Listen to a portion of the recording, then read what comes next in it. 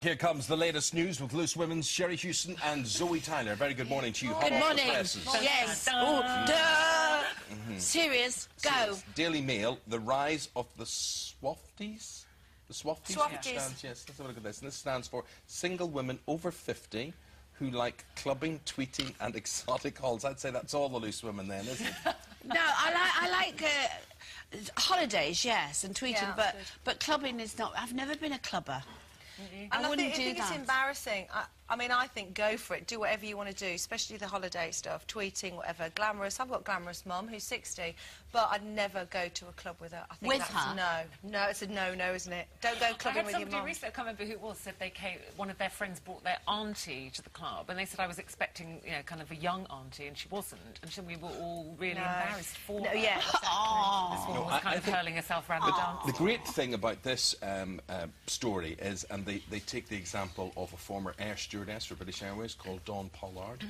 and she just embraced life. I think the thing is that it's saying that life is not over When you- um, at Absolutely. 50 for Do you know what? I wish they'd shut up saying that Okay? because we all I'm know it's sorry, not over. Sorry it come out of my mouth. We, we all we know it's not over. Stop it. I don't, who's saying? Well, can I just say we must tell you it's not over. But how, how, how can people lead their life like that? What, where do they get the money? Where do they get the time? How can they afford to do that? That's what I want to know. Afford to do what, though? Have all this clubbing, going to exotic holidays, all this sort of... Well, You no, just but they're not, decide are how they? to spend your money, don't you? Yes, Your and choice it's- what you you're spend out there. Nobody needs to tell anybody. I'm sick of them telling people over 50. Not that I am, but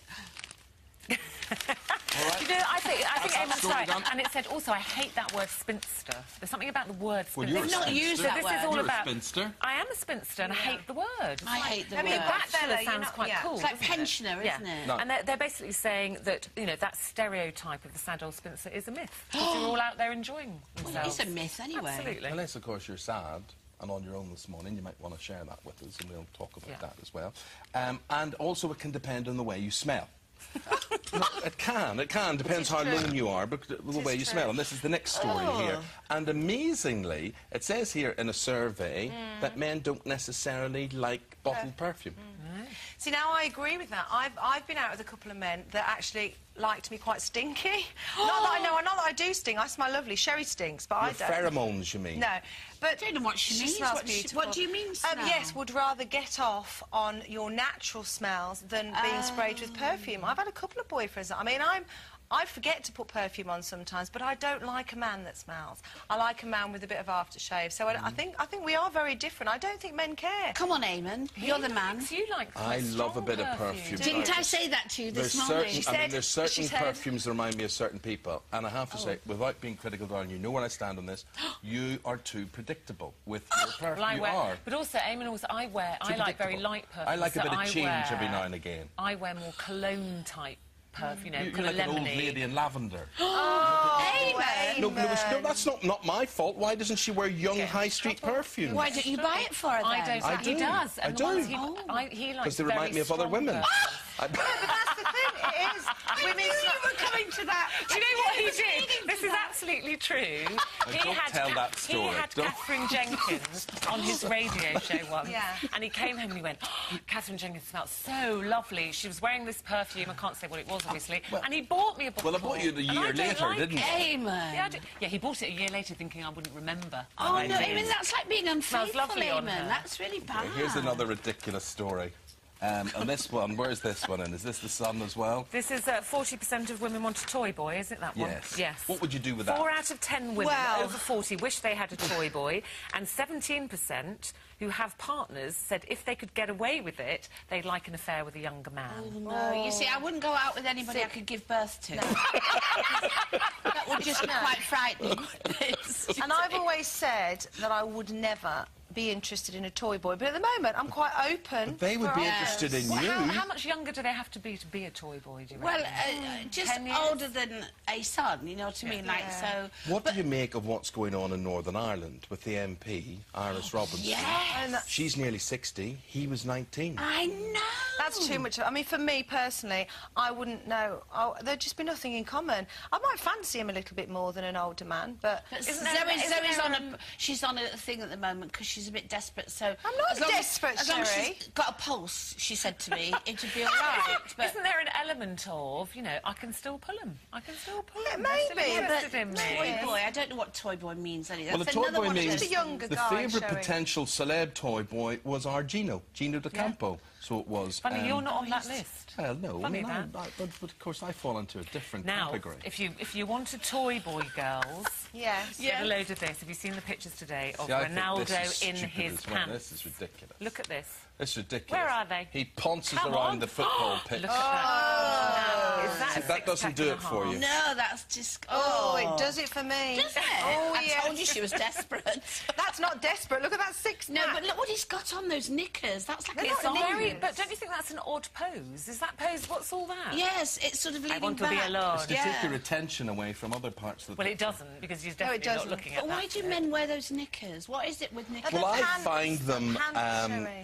what do you What no. do you What do you wear? find? Doesn't? Never mind. It was only Go on. doesn't- The obvious. No, you have to say it. Do you wear No, you boxer had to No, say- I find these adverts, I think these appeal probably to men as in a homoerotic way as opposed to women. That's what I, I think you're I think these are, I, are, are me, very it's sort of. all too perfect. Perfect. Not a hair on the No, bottom. he No. needs a bit of hairy Not chest. a hair. bit, It all yeah. looks oiled and too Yeah. perfect, and you think they'd be. That's And he No. looks very sucked and tucked, doesn't he? Looks Well, like- he is. Yeah. he is. Yes. Right. Um, talking in your sleep, and that you've picked out an amazing story me. here about uh, a woman who tapes, who tapes her, and this is in the Daily Express.